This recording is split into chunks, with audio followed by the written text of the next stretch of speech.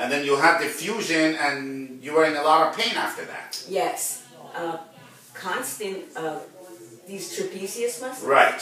were constantly tense, and they said it was causing um, trigger point syndrome. Yes. Cervical trigger point So you had a lot of trigger points in your upper Yes. back that affected your balance, that affected your sleep, that provided anxiety for you. and went up and caused tension headaches in the back of your head. Wow. And the doctors, they told you that's part of surgery, you have to take medication. As long as you're alive, take these medications. And what happened with the device that we gave you?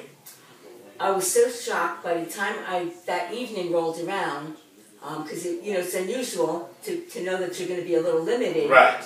by by not disrupting it. But I said, "Wow, I feel better." Good. Without pills, No, without medication, without surgery, No. without injections, No. without anesthesia. no, This is what we do. We help patients without surgery, non-invasively, help them to provide them pain relief. yes, So you can live a good life, you can enjoy life without the chemicals that are introduced to your body.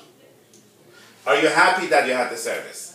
very happy Good. and so pleasantly surprised to to move easier, to get up out of my bed easier, to to move maneuver around.